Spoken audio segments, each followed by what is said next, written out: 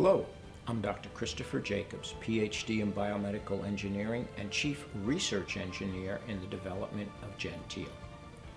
On pages 10 through 13 of your instruction book, there is a section called Determining the Right Contact Tip for Each Usage.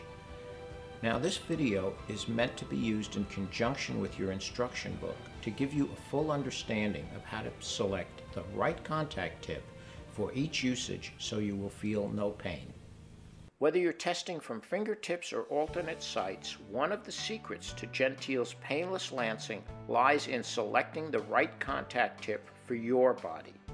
For most of us, our capillary blood supply is slightly closer to the surface of the skin than are our pain nerves, so regardless of which body site you choose, the purpose of the contact tip is to control with extreme precision how deeply the lancet penetrates.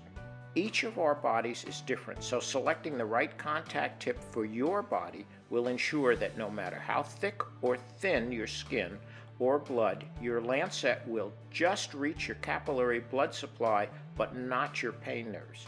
Throughout your body, this capillary depth is pretty uniform all over, except on your fingertips where the capillaries and pain nerves are much closer to the surface. To accommodate this person to person variation, inside your Genteel box you'll find a card holding five contact tips from the least to the most penetrating. They are yellow, green, clear, orange, and violet, plus a sixth blue factory installed contact tip which goes on the end of one of Genteel's two nozzles. We've chosen this one to start because it's the shallowest and most gentle.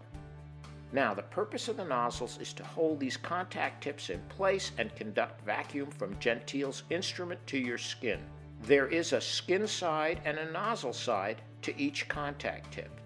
The nozzle side of the contact tip has an indent which wraps around the little flange on the end of the nozzle.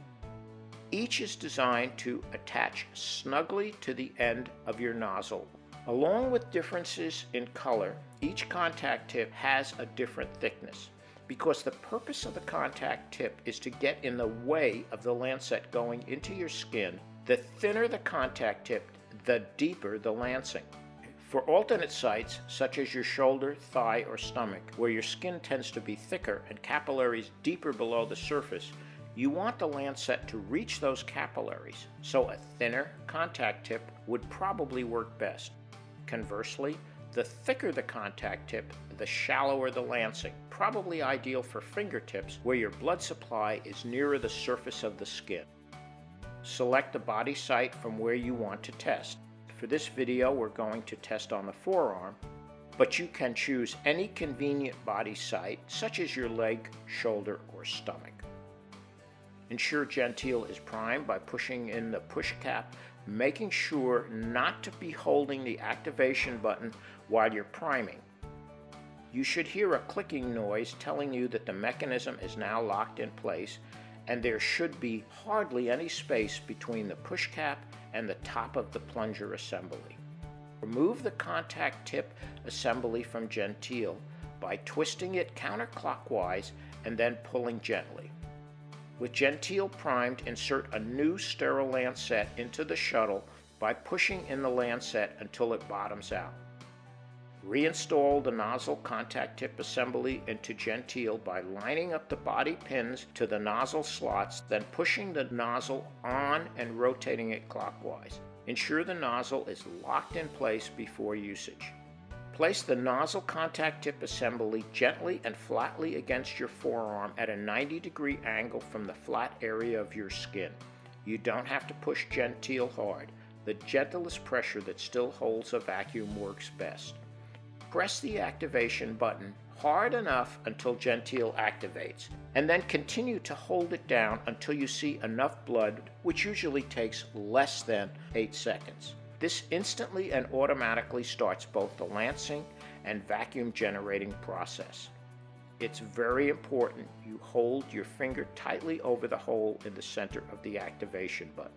If you lift your finger off this hole, the blood drawing vacuum will be lost and you may have to start the process over. If you see the right amount of blood with the blue contact tip, which usually takes 2 to 8 seconds, remember to lift your finger off the activation button before pulling Genteel from your skin. But this means the blue will now be your contact tip of choice for alternate sites. However, if your blood draw is too slow, insufficient for sampling, or even you get no blood at all, simply peel off the blue contact tip from the nozzle, install the next fastest, which is the yellow contact tip, and test again. If your blood draw is still insufficient, move on to the next faster nozzle, which would be the green nozzle, and try again. Your goal is to find that optimum contact tip for that site that draws the right amount of blood with the shallowest, most gentle tip and no pain. The higher the number contact tip, the faster the blood draw, but the more likely to cause some discomfort.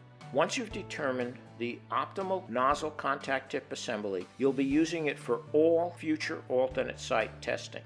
While some people are lucky enough to use the same contact tip for both alternate sites and fingertips, for most of us the optimal contact tip will be different between our fingers and alternate sites due to the variations in how deep the capillaries are from the skin surface. So, to ensure you have the optimum tip for fingertips, you want to repeat the same testing procedure as you did for alternate sites. Remember, with Genteel, you no longer have to test on the delicate pads of your fingers. You can now test on the less sensitive sides of your fingers.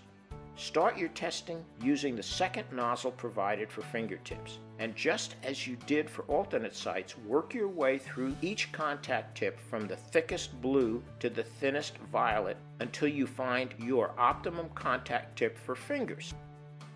You now have two contact tip nozzle assemblies.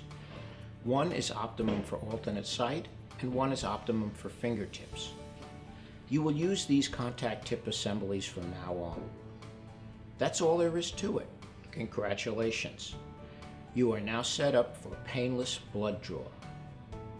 Thank you.